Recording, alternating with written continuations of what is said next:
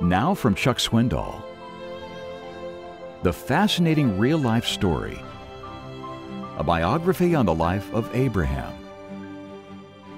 One nomad's amazing journey of faith. You don't see much written on Abraham, even though he's the father of the three religions. Don't miss this compelling new book on the life of Abraham.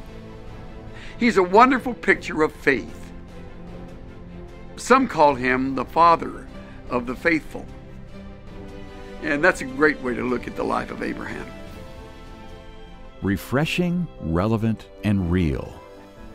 Abraham, one nomad's amazing journey of faith. From Chuck Swindoll. Because his story is the prototype for my story and your story. Let's walk in his sandals as we learn about this God who loves us so much.